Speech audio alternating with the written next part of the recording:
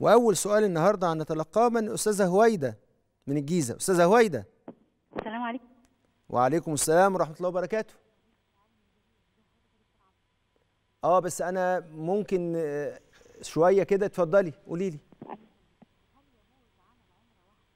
أنا مش سامع كويس. مش سامعني؟ آه كده آه سامع. طيب حاضر. هل يجوز عمل عمرة واحدة لأكثر من شخص أو أوهبها لأكثر من شخص نظرا للوقت والجو- والمجهود؟ ده طيب سؤال ده سؤال. السؤال الت... شكله كده في سؤال تاني آه اتفضلي إن شاء الله يا فندم اتفضلي. آه إن في ناس يعني كان استأمنوني لما أجي أطلع العمرة يعني أعمل ل- ل- ل- لكذا حد يعني عمرة.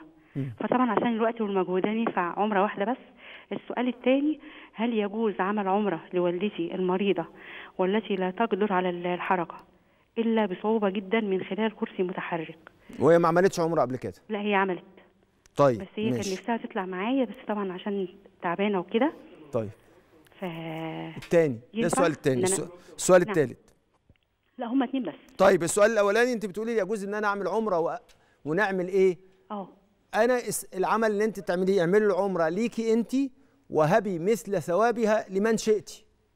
لأن ده بيكون على سبيل الدعاء ونص الإمام القرافي على إنه مستجاب على إن ده يستجاب لأنه دعاء بظاهر الغيب. يبقى تعملي إيه؟ تعملي له عمرة لبيك اللهم عمرة عن هويدة وتروح أنت عاملة العمرة عن نفسك وبعد كده إيه اللي حاصل؟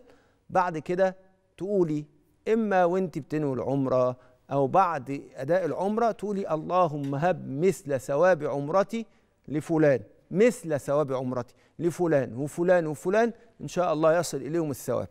ونفس الكلام تعمليه لوالدتك.